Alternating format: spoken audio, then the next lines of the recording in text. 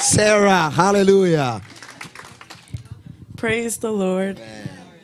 So, e- okay, so my name is Sarah. Hi, Sarah. Sarah. Simpson from Delaware. Hi, Sarah. Hello. So, yeah, so I don't know. I just feel like I need to testify about what God has been doing, like specifically this summer.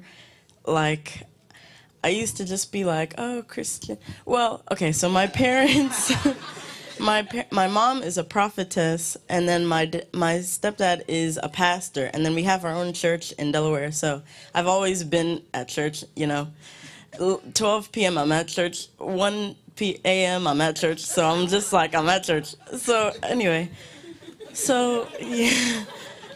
Sometimes I would feel like I need to join every sing- every single like like if there's a bible study i have to join. I have to be on time. If there's church service i have to be on time. Everything i have to be there. And it kind of felt like a lot of pressure on me. And then especially because i'm the pastor's daughter. So i have to That's right. That's what we do.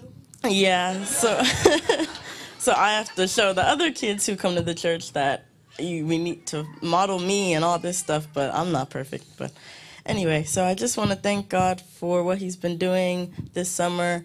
I've i noticed i'm just doing a lot of christian related activities this summer.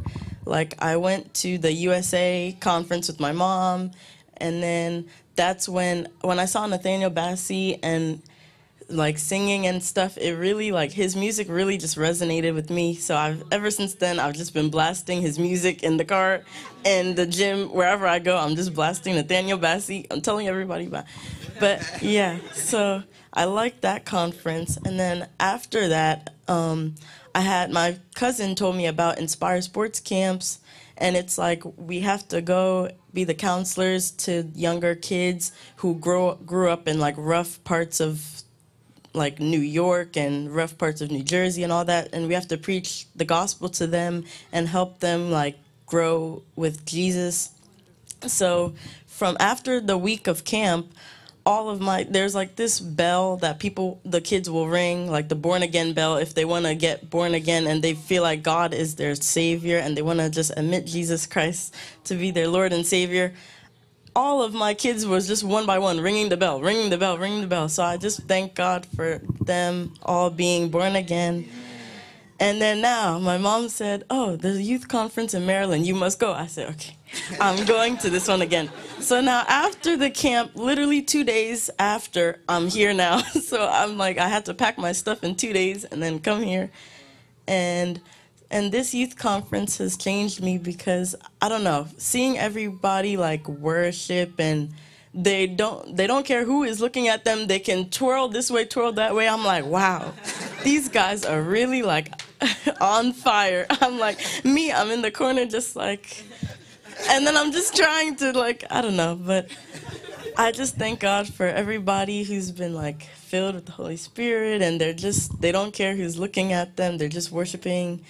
And I feel like I shared like the same a similar experience to Bonnie when she came up when she said it was her turn to for God to call her up cuz when Bishop Robinson after Bishop Robinson talked to the first boy I just started crying and then all of a sudden I hear you are next and then I'm like and then he's like you. And I said oh Jesus. I said oh Jesus I'm next.